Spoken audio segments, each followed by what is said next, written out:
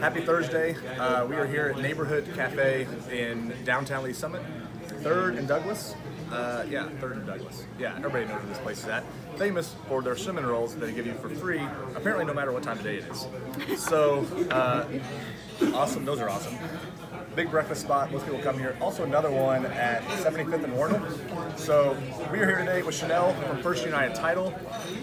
Somebody's brave enough to come on and try the burger with me. So, Heck we're gonna try this thing. Uh, basic cheeseburger. Bun looks a little thick on hers, but I got a double, and uh, we're gonna try them. and Then talk about wire fraud for a second. So, and we have guests next door, so feel free to come over. so, go ahead. All right, go ahead. We're gonna try Okay. this thing.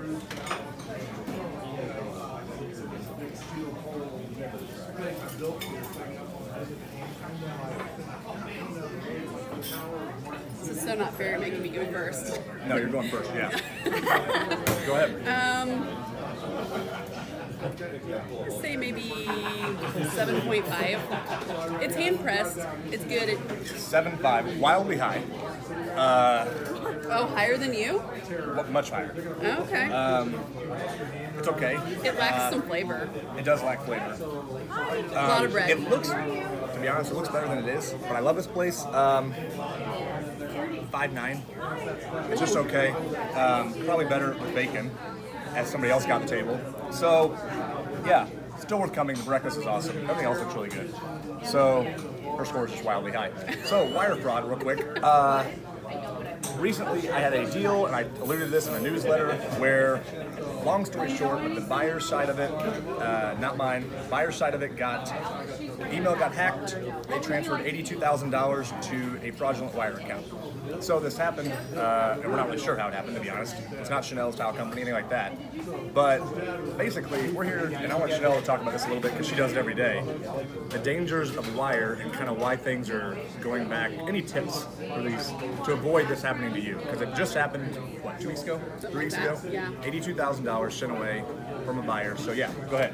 Any tips or anything you have? Um, you know, we tell everybody we're kind of pushing back more towards cashier's checks just because so many people's uh, emails get hacked these days, and you know, they look real. They look like they come from you. They look like they come from Aaron. Um, so we always tell everybody if you get something, you know, confirm with your agent, confirm with your title company. Um, you know, we're just trying to be really careful about it, but this stuff happens. So Yeah, I think, yeah, kind of alluding. I think the biggest thing is communication, like making sure you're calling your agent. If you see an email, even if it looks completely legit, call your agent, call your title company.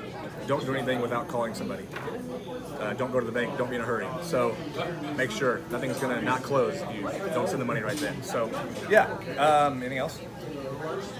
no. All right. Uh, closing. You should know. She's awesome.